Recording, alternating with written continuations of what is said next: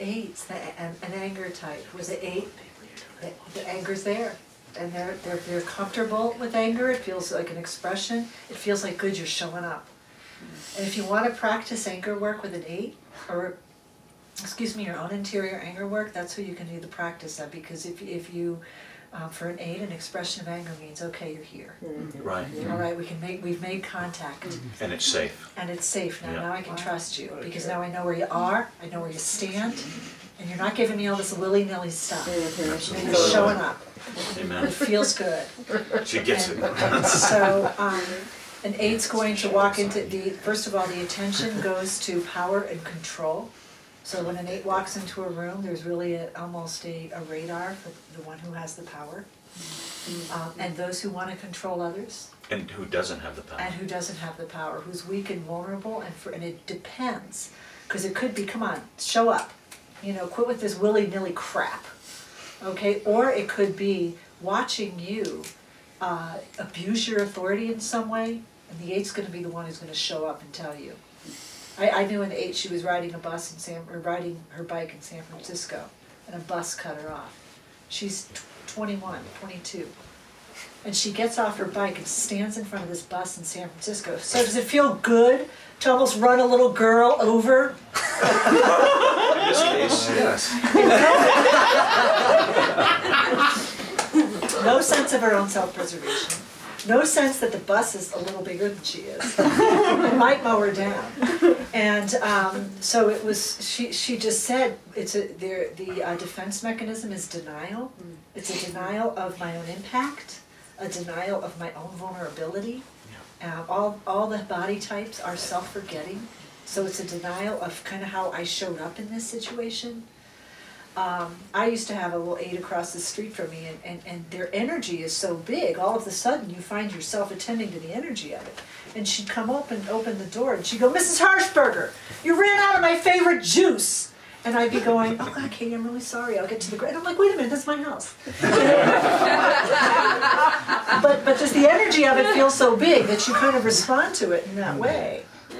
So, um, the, uh, passion, Yeah, just a quick question. The- When you said their uh, attention goes to power and control, are they aware, is it a specific type of power? I mean, it could be a very, I don't know, quiet power. Are they aware of that, or Yeah, well, make no mistake that eights are all some big extroverts, really, really out there. Like Sam Donaldson is an eight. I live in Cincinnati. Marge Schott, you know, was an eight. Uh, Cincinnati Reds owner. Um, Saddam Hussein is an eight. There's a lot of eights I know who are real introverts, and they can see quiet power a mile away. Um, think. Um, I'm just trying to think of eights. They say Martin Luther King was probably an eight. Um, That makes there's- sense. There's a leader that's coming to my mind, and maybe it'll it'll come, I'll circle back, but he had a kind of a quiet solidity, you can feel it. Mm-hmm. So there's introverted eights. So that, and they could tell that in the room too. Like, oh, there's an absolutely. outward powerful person, but there's an inward powerful person. You can feel the energy of power, absolutely, and who has the power and who, you know, where, where, and, and eights don't have a good calibrator for how much power is needed in a given situation. Mm-hmm. It's either all or nothing. Mm-hmm. So for eights, a lot of times the path is finding how much energy is needed. So again, think of these body types, it's really about how much energy is needed. And a lot of times they'll, they'll talk about, well, I don't know, I just felt it in my gut. You know, there's a, there's a, I remember I used to ask when I was seventeen years old, I'd say to my husband, why do you love me? You know, he's got a big eight wing, I don't know, I just love you. you know, those word crap, you know, kind of, just kind of, you know, flowery stuff, that kind of thing, so. All. I, all I was going to ask is, do eights tend to uh, the arena of politics then? Because this is what it seems like. Um, except when they don't, I mean, Except they're, when they, they don't. they, yeah, but you they know, they're- can go Like they're either one or the other. Yeah, you know, I know eights who are really into fashion and fashion design and, you know, or Oh, okay. design, just design, it's, it, but it's always going to be lust. A lot of eights joke that they have, they're ready for, they kind of have a bunker mentality and there's a lot of them will joke that there's a place in their basement where there's like sixty rolls of toilet paper and, okay. and fifty canned goods, just in case they come and screw you, you know, I'm gonna be ready, baby, you know, and have all the stuff in the basement. So it's it's very six-ish in that way. Yeah, there's a, mm-hmm. well, Paranoid. counterphobic sixes and eights are look-alike types. No, they do. They Yeah. can knock heads They can really- endlessly. Yeah. So But I is find there a a lot little of sixes. Paranoia? Uh, you don't see the, it, what, they wouldn't describe it as paranoia, yeah, they wouldn't describe it as paranoia, um, it's more about, f- think of the energy of power and think of the energy of paranoia. You know, since somebody's gonna try to run me down, I'm gonna be ready. I'm gonna, it's like a bunker kind of thing, I'll be ready for you. Yeah. And um, when under stress, they can look kind of five-ish, because I'm gonna go in and I'm gonna strategize, you know, because this won't happen to me again. Right, they call it will the not binge. be- They will get revenge, and and it- it's a dish uh, best served cold in the in the eights world. They will get you back. Yeah, yeah, an, un- an unconscious eight, that's what it's going to be So about. criminal would criminals allowed to be? Well, criminals are going to be in every, every type, Every but type, th- okay. theirs might be, it's going to look a little bit, it'll look a little bit, Mm-hmm. probably a little, There's more of them in prison, Yeah. probably. do you think More so? of them. Of Four would be yes. mo- They can, and and another, another thing, an unhealthy eight, they can like destroy organizations from the inside. And there was a, there was a transpersonal university in the Bay Area where if they were doing the student interview and it's like, they found the person was an eight, and, sorry, we don't do eights, next.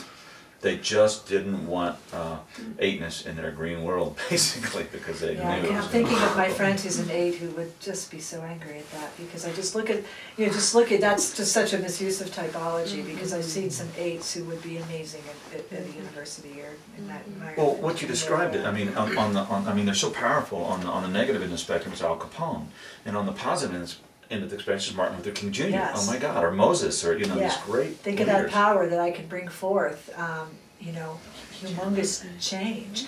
And they're not afraid, tend to not be afraid to back down, or, excuse, yeah, to, to- with a challenge. I watched my daughter's boyfriend in El Salvador, who's an eight, and I'm just stunned by what he does. It's, it's, and, and, and he has just this, this passion for social justice, and my daughter told me a lot of the, um, people down there as well, people from the states who were working down there are eights. Because there's a, it's, it can look a little six-ish, or, you know, the pa- passion for the underdog. And, you know, he's, this is a kid whose father was killed in the war, mom left him.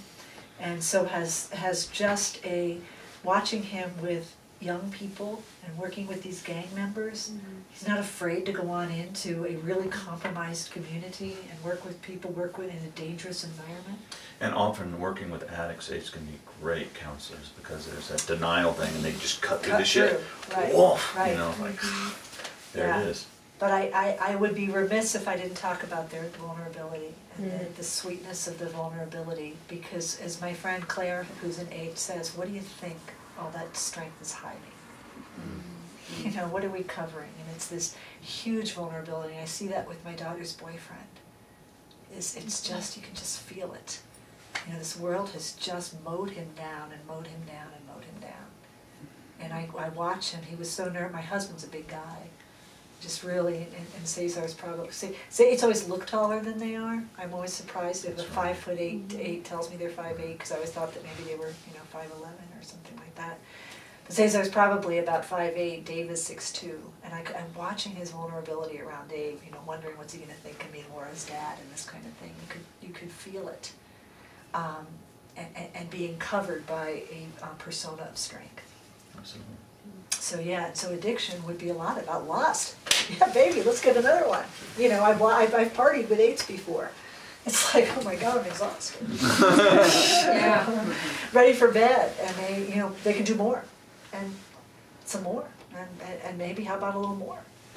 And so on the other side, um, you know, with the lust, it's, it's, when you can see that soften, and you can get into this really vulnerable place, it's just lovely.